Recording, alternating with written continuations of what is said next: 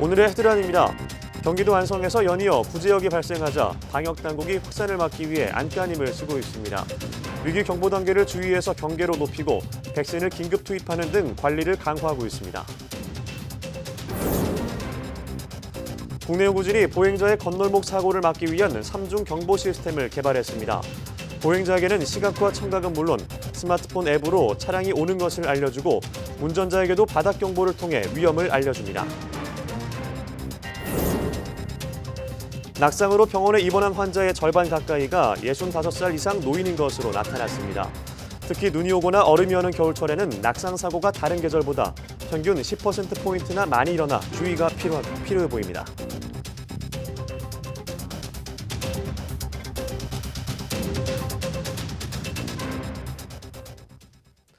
여러분 안녕하십니까? 1월 31일 목요일 사이언스 투데이입니다. 경기도 안성에서 이틀 사이에 연달아 구제역이 발생하자 방역 당국이 확산을 막기 위해 안간힘을 쓰고 있습니다. 방역 당국은 가축 방역 심의회를 열어 방역 위기 단계를 주의에서 경계로 격상시켰습니다. 천상규 기자의 보도입니다.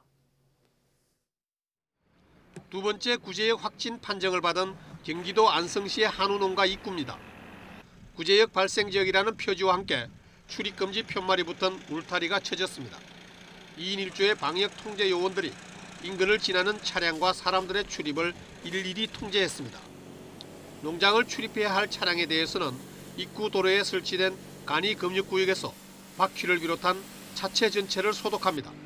운전자와 조사 요원들도 온몸은 물론 신발 바닥까지 소독해야만 농장 출입이 가능합니다. 구제역 농가 출입 차량 그리고 사람 그 모든 분이 또 나왔을 때 들어갈 때 소독을 하고 주변 농가에 퍼지지 않도록 소독하는 곳입니다. 방역 당국도 가축 방역 심의회를 열어 구제역 위기 단계를 한 단계 상향해 방역 관리를 강화했습니다. 안성시 양성면 소재 한우 농장에서 구제역이 추가로 발생이 되었습니다. 구제역 주의 단계에서 경계 단계로 격상을 하도록 하겠습니다. 이와 함께 광역시도에는 구제역 광역대책본부가 설치 운영됩니다. 방역당국은 인근 지역으로의 확산을 차단하기 위해 단계별 긴급 백신 접종 계획을 세우고 우선 1단계로 안성 시내 소 돼지 전체에 대해 백신을 긴급 접종했습니다. 2단계로 이천 용인 평택 등 인근 6개 시군, 마지막 3단계로 경기 지역 일부와 충청 지역에 대해 긴급 예방 접종을 실시하기로 했습니다. 이와 함께 첫 구제역 발생 장소로부터 500m 이내 농장에서 구제역 NSP 즉 감염 항체가 검출돼 구제역 바이러스의 순환 가능성이 있다고 보고 이 지역의 소, 돼지 등에 대해 예방적 차원에서 처분을 계속하고 있습니다. YTN 천상입니다. 경기도 안성 구제역 농가에 들어갔던 차량이 충청 지역 20여 개 농가에도 출입했던 사실이 확인됐습니다. 안성과 접한 충청 지역은 구제역 유입을 막기 위해 백신과 방역이라는 창과 방패를 모두 동원했습니다. 이문석 기자입니다. 구제역 백신을 타가려는 농장주들이 긴 줄을 이뤘습니다. 잘 흔들으셔가지고 목에다가 2시 정도, 네, 목에다 여기다 놓으시면 되겠습니다. 백신을 맞은 지 2주 넘은 충청 지역 소와 돼지 전체에 긴급 접종 지시가 내려졌습니다. 아, 백신 접종을 100%할 수 있도록 지금 조합에서 모든 것을 지원하고 있습니다. 가축 농장 주변으론 소독 차량이 쉴 새 없이 오갑니다. 농장 안에 바이러스가 발붙이지 못하게 꼼꼼히 약을 뿌립니다. 특히 이곳 천안은 구제역 발생 농가에서 10km 정도밖에 떨어져 있지 않아서 말 그대로 초긴장 상태입니다.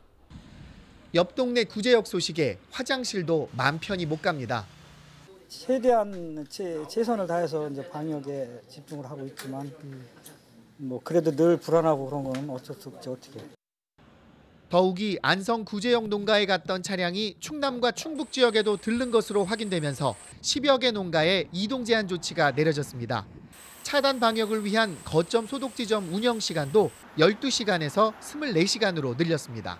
우리 천안시하고 연접해 있는 안성시이기 때문에 우리는 안성 지역에서 오는 차량에 대해서 철저히 소독을 하고 있습니다. 소와 돼지 375만 마리를 키우는 충청 지역.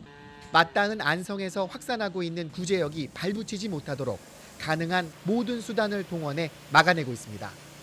YTN 이문석입니다. 경북 고령군 다사면 호촌 일대에서 AI 야생조류 인플루엔자 바이러스가 검출돼 관계 당국이 병원성 여부를 확인하고 있습니다. 국립환경과학원은 지난 28일 호촌 일대에서 채집한 야생조류의 분변 시료를 분석한 결과 H7형 AI 바이러스가 검출됐다고 밝혔습니다. 국립환경과학원은 시료가 채취된 주변 지역에서 상황이 어떻게 변동됐는지를 예측하는 예찰 활동을 벌이고 있다고 밝혔습니다. 이번에 검출한 AI 바이러스의 최종 병원성 확인에는 3일에서 5일 정도 걸릴 예정입니다. 그런가 하면 철새 도래지인 부산 울숙도 야생조류 분변에서 검출된 조류 인플루엔자 AI 항원이 저병원성으로 편집 판정됐다고 국립환경과학원이 밝혔습니다. 부산시는 이에 따라 AI 항원이 검출된 지역에 내린 야생 조수류 예찰 지역에 대한 이동 금지 조치를 해제했습니다. 부산시는 그러나 항원이 검출된 울숙도 일대에 대해 앞으로 일주일 동안 예찰 활동과 소독을 지속할 계획입니다. 길을 걷거나 건널목을 건너면서도 스마트폰을 보는 이른바 스몬비족으로 인해 발생하는 교통사고가 적지 않은데요. 이런 보행자들에게 삼중으로 경고를 보내서 교통사고를 예방하는 기술이 국내에서 개발됐습니다. 이동훈 기자입니다. 신호등이 없는 4차선 도로. 스마트폰을 든 보행자가 건널목에 다가서자 진동과 함께 메시지가 뜹니다. 동시에 도로 위에는 경고 이미지가 나타나고 요란한 알림음이 울리기 시작합니다. 차량이 접근 중입니다. 보행자의 건널목 사고를 막기 위해 개발된 삼중 경보 시스템입니다. 시각이나 청각은 물론 스마트폰 앱을 이용해 진동으로도 차량이 다가오는 것을 알 수 있게 했습니다. 보행자뿐 아니라 운전자에게도 동시에 위험을 알립니다. 열화상 카메라로 길을 건너는 보행자를 인식한 뒤 차량이 건널목 30m 앞에 접근하면 바닥에 경보등을 작동시키는 원리입니다. 실제로 제한 속도 시속 50km인 도로에 이 시스템을 설치했더니 차량의 83% 이상이 건널목 앞에서 멈추거나 속도를 줄인 것으로 나타났습니다. 설치 전과 설치 후의 효과는 6km 정도 어, 속도가 평균 속도가 주는 걸 확인했습니다. 어, 퍼센테이지로는 약 20% 정도 속도가 줄은 거는 확인했고요. 그러 그만큼 어, 운전자들은 확실히 인식을 하고 나서 속도를 줄인 거를 확인했습니다. 최근 5년 동안 일어난 보행자 사망 사고 가운데 절반이 넘는 52.9%가 길을 건널 때 발생했습니다. 특히 스마트폰에서 눈을 떼지 못하고 걷는 이른바 스몬비족이 늘면서 이로 인한 교통사고도 증가하는 상황. 연구팀은 앞으로 차량 내비게이션에 직접 알림 시스템을 적용해 운전자에 대한 위험 경보도 한층 강화할 계획입니다. YTN 사이언스 이동은입니다. 척수가 손상돼 손을 움직일 수 없는 사람의 의도를 파악해 원하는 대로 움직이는 웨어러블 손 로봇 시스템이 개발됐습니다. 서울대 카이스트 연구팀은 deep learning을 사용해 착용형 손 로봇의 의도를 예측하도록 하는 기술을 개발했다고 밝혔습니다. 이 손 로봇 시스템은 안경, 안경을 통해 주변 장면을 촬영하는데 사용자가 물체를 향해 팔을 뻗으면 팔의 움직임과 물체까지의 거리 등 정보를 분석해 사용자가 의도하는 움직임을 예측합니다. 실제로 척수 손상 환자가 이 로봇을 착용했더니 커피를 마시고 스스로 물건을 옮기는 등 일상생활이 가능했다고 연구팀은 밝혔습니다. 연구팀은 아직 물체나 손이 다른 사물에 가려지면 시스템이 제대로 작동하지 않는 문제가 있다며 앞으로 개선할 점이 남아있다고 설명했습니다.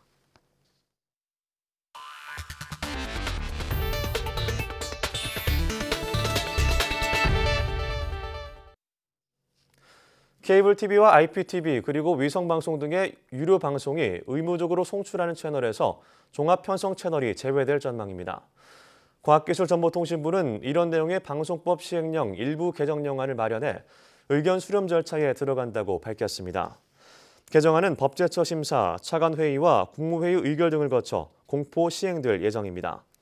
앞서 과기정통부와 방송통신위원회는 관련 전문가와 함께 의무 송출 제도에 대해 검토한 결과 종편은 제외하는 게 바람직하다는 결론을 내렸습니다. 겨울철에는 노인들이 길거리나 집에서 넘어져 다치는 낙상 사고가 많이 발생합니다. 노인들이 낙상 사고로 다칠 경우 뇌 손상이나 고관절 골절이 발생할 위험이 크기 때문에 각별한 주의가 필요합니다. 한영규 기자가 보도합니다. 노인들의 낙상 사고는 겨울철에 많이 발생합니다. 2016년에 65세 이상 노인 12만 6천 명이 낙상 사고로 입원했습니다. 낙상 사고로 입원할 경우 65세 이상 노인은 절반 가량이 2주 넘게 입원했습니다. 나이가 많을수록 낙상 사고 입원율도 높아집니다. 80세 이상 노인의 경우 낙상 사고 입원율이 60대보다 4배나 많았습니다. 넘어질 경우 뇌나 척추를 다치거나 고관절이 부러지는 경우가 많았습니다. 겨울철에 추우시니까 주머니에 손을 넣고 다니시는 경우가 있는데 가급적이면 장갑을 끼고 주머니에 손을 빼고 활동하시도록 하면 어, 걷다가 넘어지고 다치시는 일은 예방될 수 있다고 봅니다. 겨울철에는 날씨가 구절 경우 외출을 자제하는 것이 좋습니다. 눈이 올 경우 경사진 도로나 지면이 불규칙한 도로 등은 가급적 우회해야 합니다. 승강기가 설치된 건물이라면 계단보다는 승강기를 이용하는 것이 위험을 줄이는 방법입니다. 눈이 잘 보이지 않아 넘어질 수 있으므로 매년 시력 검사를 하고 시력 조절에 적합한 안경을 착용해야 합니다. 집안을 환하게 조명하고 화장실이나 주방의 물기를 제거하는 것도 사고 예방을 위해 필요합니다. YTN 한윤규입니다. 당뇨병 환자 가운데 한 병원을 오래 다니는 환자보다 이 병원 저 병원을 찾아다니는 환자가 사망률이 높은 것으로 나타났습니다. 연세의대와 단국대 공동연구팀은 당뇨병 환자 5만 5천여 명을 분석한 결과 환자의 의료기관 방문 횟수 대비 방문 의료기관 수가 한 곳 많을수록 사망률이 평균 1% 증가한다고 밝혔습니다. 연구에 따르면 지난 2002년부터 2013년까지 조사 대상자 중 16%가 사망했는데 사망자의 의료기관 방문 횟 수 대비 방문 기관 수는 평균 19곳으로 생존자의 13곳보다 6곳 더 많았습니다.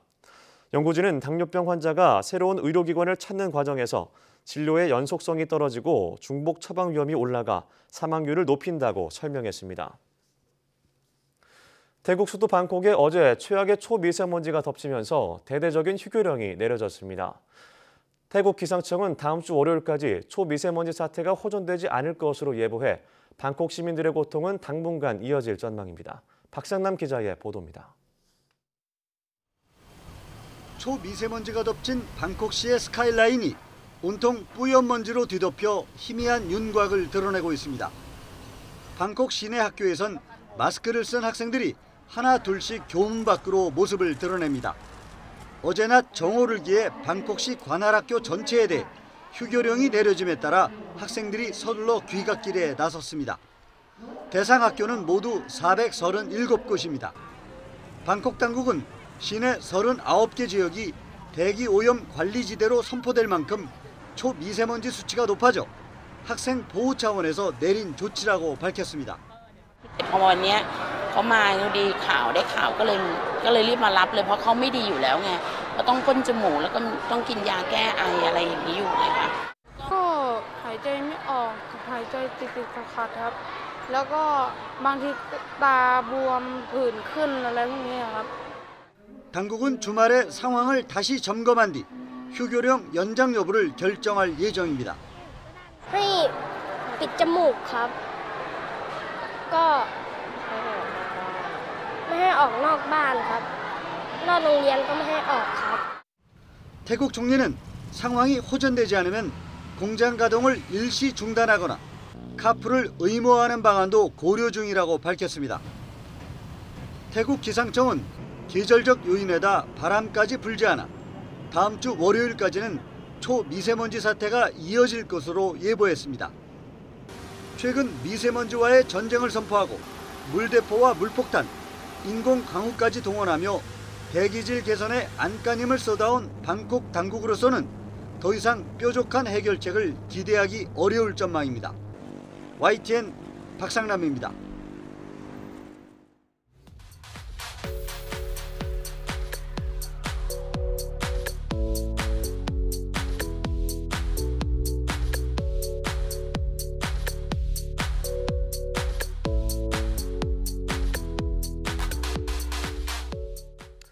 지난 8일 미국에서 열린 세계 최대 가전 IT 전시회 CES 2019에서는 자율주행 기술이 화두였는데요.